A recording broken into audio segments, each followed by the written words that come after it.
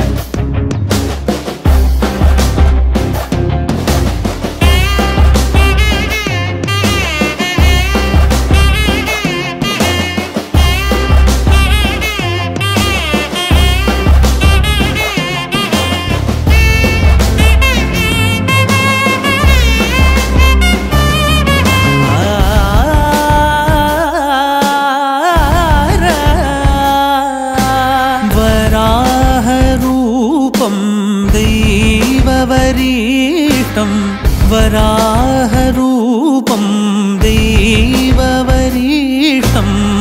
वरस्मितवदनम्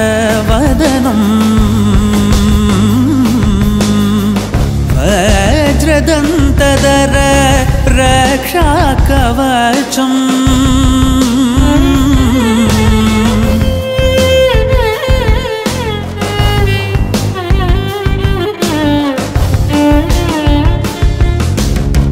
शिवसम्भूत भुवि सञ्जात नम्बीदवगिम्बु ಕೊಡುವವನೀತ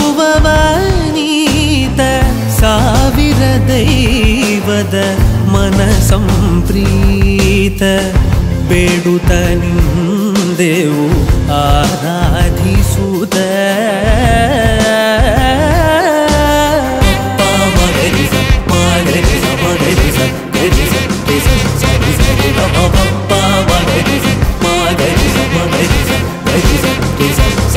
Hare Rama Hare Rama Hare Rama